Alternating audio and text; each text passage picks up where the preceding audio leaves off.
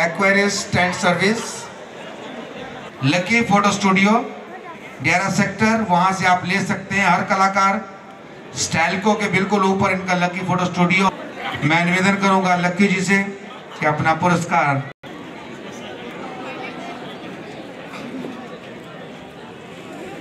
सभी बच्चों